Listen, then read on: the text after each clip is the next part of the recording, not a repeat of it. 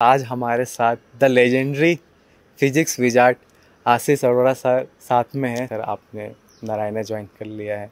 तो इस पे सर, क्या है आपका? किस विजन के साथ आपने ज्वाइन किया है नारायणा? किन किन चीज़ों को लीड करने वाले हो नारायणा में? अब आप आगे हो तो। सर, आपको क्या ऐसा लगता है? क्या लैकिंग लगता है कि जो बच्चों को मिलना चाहिए या ये मैं करना चाहता हूँ? सो हेलो एवरीवन कैसे हो आप सभी? तो आज हमारे साथ the legendary physics wizard Ashish Arora sir साथ में है। Sir welcome to my channel thanks sir काफ़ी टाइम से मन था कि मैं आपसे मिलूं आपके साथ एक वीडियो बनाऊँ।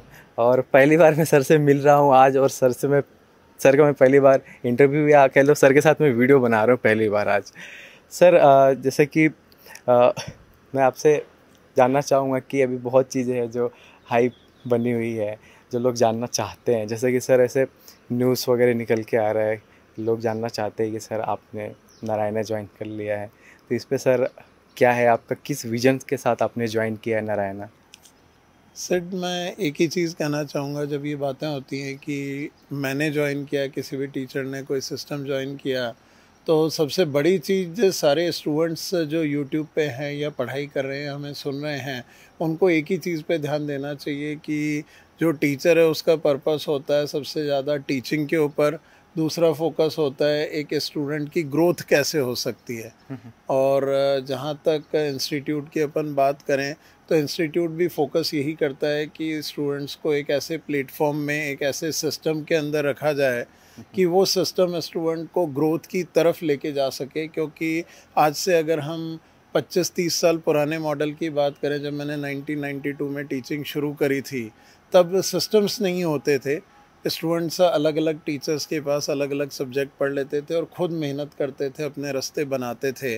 तब स्टूडेंट की सेल्फ स्टडी और मेहनत के दम पे और टीचर्स को एज अ टूल यूज़ करके स्टूडेंट्स अपना पर्पस फुलफ़िल करते थे और फाइनली अपने गोल की तरफ़ आगे बढ़ते थे और फाइनली अपना सिलेक्शन बनाते थे। आज भी मॉडल वही है, फ़र्क सिर्फ़ इतना सा है कि कंपटीशन लेवल इतना टफ हो गया है कि इस कंपटीशन लेवल में सबसे ज़्यादा ज़रूरी होता है कि आप टीचर्स को अपने इंस्टीट्यूट्स को बुक्स को रिसोर्सेज को इन टूल्स को कैसे ऑर्गेनाइज करके आप अपनी जगह बनाते हो वही सबसे बड़ी चीज़ है। तो जहाँ तक हम लोगों की बात है तो हम किसी भी सिस्टम के साथ रहें वो इतना इम्पोर्टेंट नहीं है। इंपॉर्टेंट यही है कि स्टूडेंट्स के लिए किस तरह के फीचर्स और किस तरह के सिस्टम्स और किस तरह के टूल्स बनाए जा रहे हैं जिससे स्टूडेंट्स की मेहनत मल्टीफोल्ड आउटपुट दे सके। राइट सर तो सर अभी आ, मैं थोड़ा जानना चाहूँगा आपसे कि आप किन किन चीज़ों को लीड करने वाले हो नारायणा में अब आप आगे हो तो?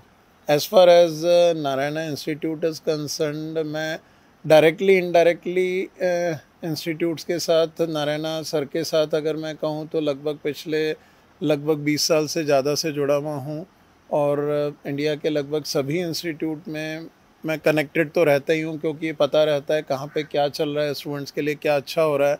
और एज अ टीचर सबसे बड़ी चीज़ यही रहती है कि आपको ये पता रहे कि स्टूडेंट की लर्निंग कैपेसिटी को कौन कैसे कितना बढ़ाने की कोशिश कर रहा है ताकि हम उन चीज़ों से सीख सकें।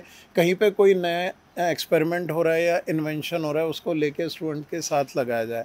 तो नारायणा सर के साथ एसोसिएशन मैं ये कहूँगा कि फॉर्मल होना और अभी जो लोगों को पता चला है, उसमें मैं सिर्फ़ इतना ही कहूँगा एज़ चीफ एकेडमिक ऑफिसर मैंने नारायणा ग्रुप ज्वाइन किया है। और कोशिश यही है कि एकेडमिक्स की मेथडोलॉजी को उस लेवल पे एनहांस करें कि सिस्टम ऑलरेडी अभी अराउंड 750 इंस्टीट्यूशन के साथ है, जिसमें स्कूल्स भी हैं कॉलेजेस भी हैं प्रोफेशनल कॉलेजेस भी हैं कोचिंग्स भी हैं।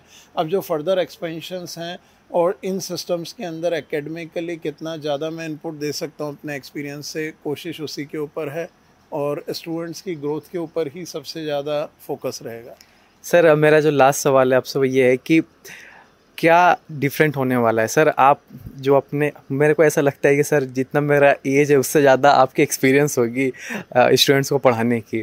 सर, आपको क्या ऐसा लगता है, क्या लैकिंग लगता है कि जो बच्चों को मिलना चाहिए या ये मैं करना चाहता हूँ?